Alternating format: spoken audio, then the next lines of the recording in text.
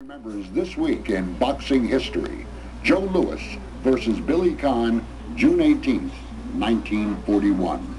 It was a scenario that had been repeated many times before, going all the way back to David versus Goliath, a good little man versus a good big man.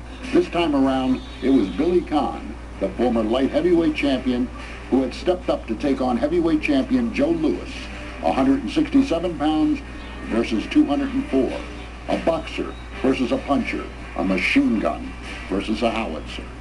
Many boxing fans felt that Conn had all the tools to make this a fight, more so than any of Louis's previous 17 challengers, many of whom charitably fit into that grouping known as the Bum of the Month Club. Conn's consummate boxing skill, along with his flashy left hand, made him the lineal descendant of Gentleman Jim Corbett, the first of the great scientific fighters. Conn began the fight by retreating, but by the third was connecting several times with his left, forcing Louis to hold on. And in the fourth, a straight left and right by Conn buckled Louis's knees. The bout seesawed, back and forth and forth and back, but by the 11th it was all Conn. He forced the action, once even pulling Louis into a clinch and saying to the champ, You've got a fight on your hands tonight, Joe.